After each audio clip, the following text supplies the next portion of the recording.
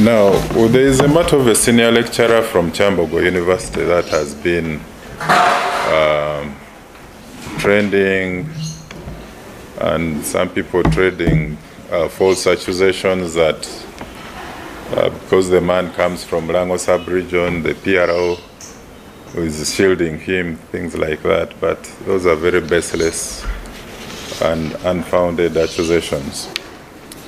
But uh, what uh, the, the Directorate of CID has brought out is that the senior lecturer is wanted for the aggravated defilement of a 16 year old disabled victim. And uh, our Directorate of CID, in coordination with KMP Territorial Police, are seeking the public's help in locating a one Dr. Aaron Lawrence a 56 year old senior lecturer at Kyambogo University and the Dean of Faculty of Special Needs and Rehabilitation. Uh, he also doubled as a project administrator. All we see is possibility. It's a project under Kyambogo University. Uh, why he's wanted is because he absconded the police bond on the 14th of December 2023 and uh, for the last over one month he has been in hiding.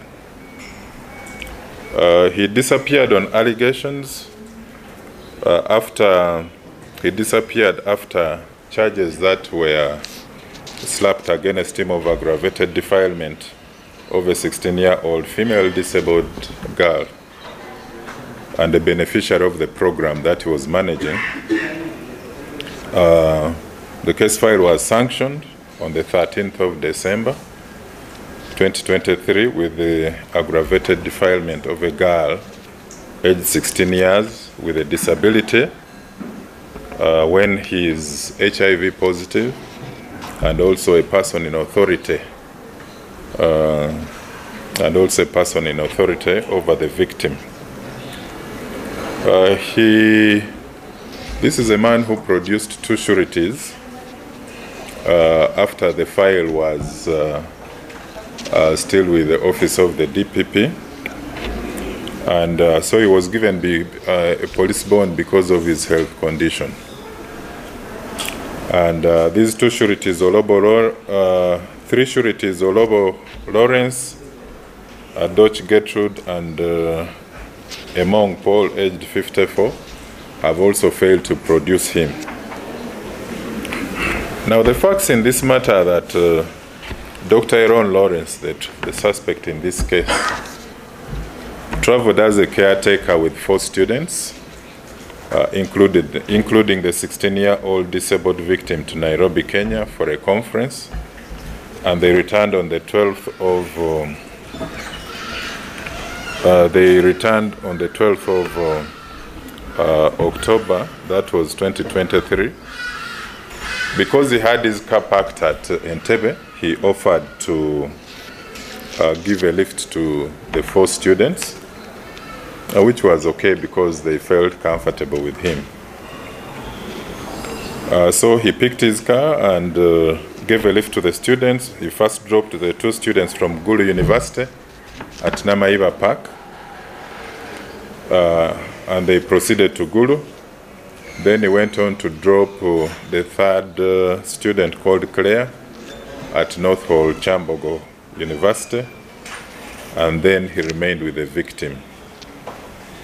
The victim is uh, uh a, a, student who has uh, uh, visual, who has a visual impairment. That during day she uses glasses to see, and at night she can't.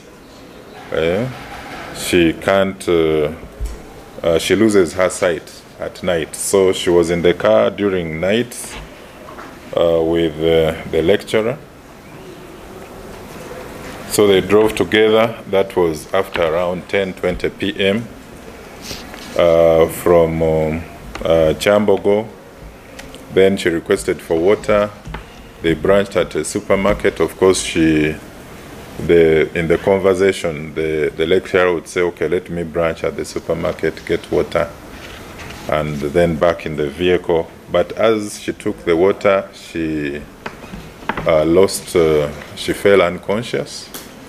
And by the time she was waking up, she got uh, inflammations and injuries along her private parts. So,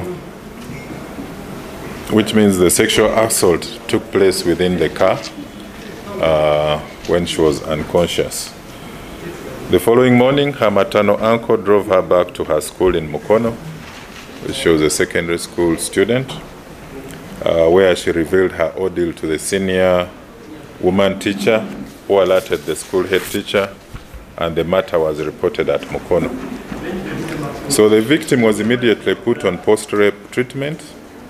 We obtained DNA samples uh, which were recovered from the suspect's car, a Toyota Wish registration number UBA 349Z.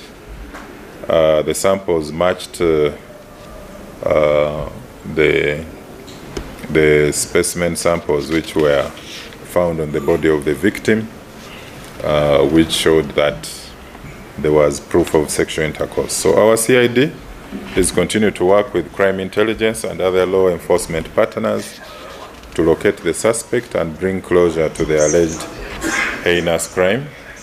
And we call upon the public, if there is anyone with information regarding the inf- investigation, or if there is anyone who believes that they may have been victimized, please reach out to CID headquarters, KMP headquarters, or call the National Operations Command Center on 776 999 136.